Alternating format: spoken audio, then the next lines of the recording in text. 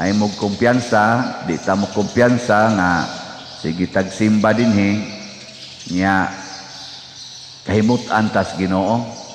Nya dili sa di ay sa tanang panahon nga ang tao nga naglunang sa sala makapahiubos sa Ginoo.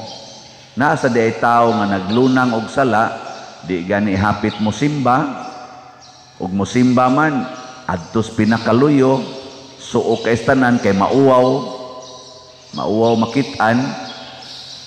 Nga ang Ginoo sad naglagot sad anang klasihas tao ug mao na gihulagway ni Kristo dinhi sa atong ebanghelyo